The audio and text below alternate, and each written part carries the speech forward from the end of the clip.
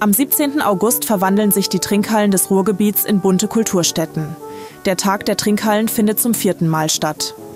Mehr als 200 Künstler treten an über 40 Buden auf. Von 15 bis 22 Uhr wird ein abwechslungsreiches Programm geboten.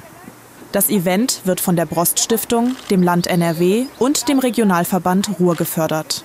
Ich bin davon überzeugt, dass wir als Ruhrgebiet unsere tollen Seiten zeigen müssen. Äh, wir haben auch ein paar Themen, die manchmal ein bisschen schwieriger sind, aber das, was hier das Leben ausmacht, das muss auch mal transportiert werden. Das müssen wir erlebbar machen. Und dazu gehört es, im ganzen Ruhrgebiet gibt es so viele Kioske, Trinkhallen, Bütchen.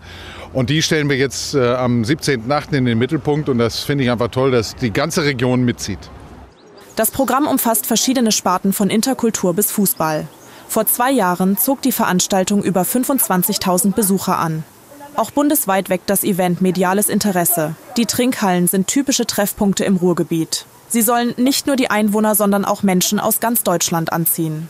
Der Erfolg gibt uns recht. Also der Tag der Trinkhallen seit 2016 ist es einfach ein Event, was, sagen wir mal, die Menschen berührt hier in der Region, was aber auch eben für die Region steht nach außen. Das heißt, das ist ein glaubwürdiges Event, eine glaubwürdige Veranstaltung, die auch viele Menschen von außerhalb mit dem Ruhrgebiet verbinden und zwar positiv. Und deshalb kommen eben auch viele Besucherinnen und Besucher von außerhalb und hier in der Region ist es halt total beliebt.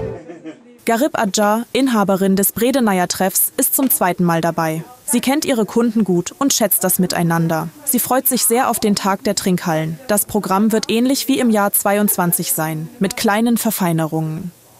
Die Vorfreude bei den Beteiligten ist groß. Ja, also das Wetter war super. Die Musik, wir hatten zwei tolle Bands hier. Die Leute waren sehr gut drauf. Ich habe ähm, ganz viel Essen gehabt. Also wir haben gegrillt. Ich habe ganz viele Vorspeisen selbst gemacht.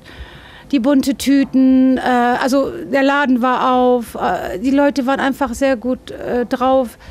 Ähm, für Kinder hatten wir so ein bisschen Spaß noch äh, und jeder war irgendwie glücklich und zufrieden und dann bin ich es auch.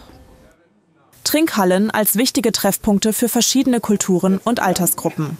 Sie liegen oft in der Nähe des eigenen Wohnsitzes und sind Orte der sozialen Begegnung. Am 17. August sind auch Fahrradrouten geplant, um mehrere Trinkhallen zu besuchen. Diese Routen sind online auf der Website einsehbar. Der Tag der Trinkhallen zeigt damit also die schöne Seite des Ruhrgebiets.